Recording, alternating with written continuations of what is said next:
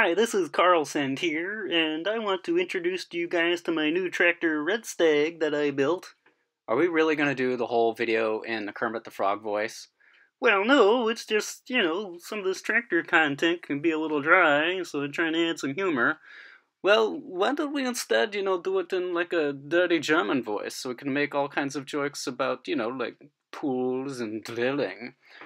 Or, or maybe we can impersonate some uh, famous YouTubers and kind of poke fun at people. You son of a bitch, I'm in.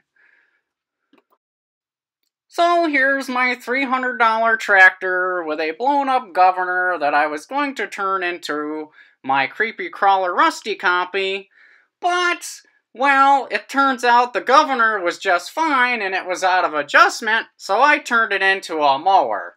But for $125, I found this piece of crap 1969 Raider 12 with a snowblower engine that at least had a transmission with inch and an eighth axles, so I figured that'd be a perfect build start. So one great feature about this mud mower is the rear storage trunk. So when you're out on the trail and one of your buddies gets stuck, you can just whip out your tow strap and tow them to safety. Hello YouTubers. One pesky little problem with these wheel horse chassis is that the lower two mounting points on the frame where the unit drive bolts up over time tend to crack and bend the plate. So I've created the dock brace where I connect those two mounting holes on the transmission directly to the frame, triangulating the rear section and making it super strong and stiff. Now, I'm not running a skid plate on my tractor per se, but this trans brace also works great as rock sliders to slide my tractor up and over obstacles. Hey YouTube, Mr. Crawler here. Sorry for chiming in kind of late on Red Stag here, but wanted to talk about these bumpers. Real simple, tucked in nice and tight to the machine, and you can get a, your hand on them if you need uh, help getting over an obstacle. And also got a real basic tow hook mounted on there just to throw a strap on if you need to pull out. I want to talk to you guys about hill climbing. You see these guys going right up hills. You know, they had a little help. You know, that's not all them. So we got two gallons of RV antifreeze in each front tire and a 12 pound weight. And that's keeping the front end under control, just like we are doing in Afghanistan. And we're back as Carlson to talk about some of my favorite features.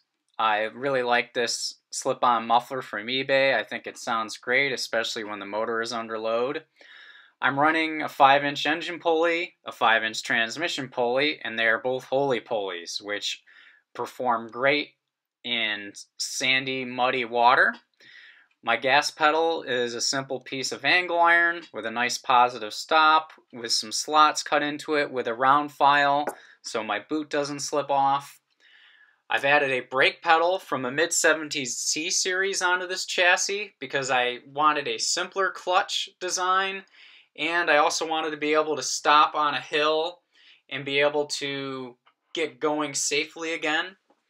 I'm using a pit bike clutch cable with a center adjuster that gives me nice adjustability to the factory throttle plate, which has been modified to work with a deleted governor system. So it's connected directly to the carburetor butterfly. That is a 135 degree, two and a half inch intercooler elbow from eBay to get my air cleaner up and out of the way of the mud and water. I'm using a Honda OEM choke cable stay to get the choke to operate from the dash.